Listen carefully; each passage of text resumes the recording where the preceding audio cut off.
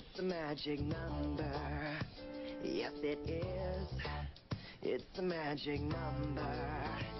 Because two times three is six. And three times six is eighteen. And the eighteenth letter in the alphabet is R. We got three R's. We're gonna talk about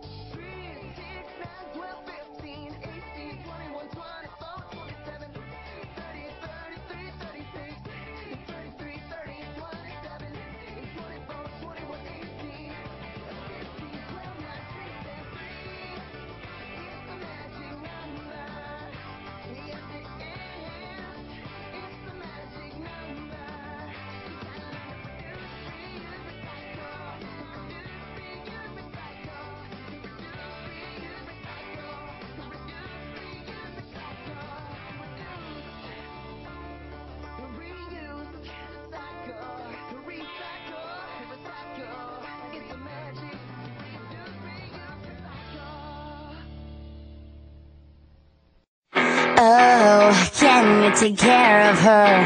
Oh, maybe you can spare her several moments of your consideration, leading up to the final destination.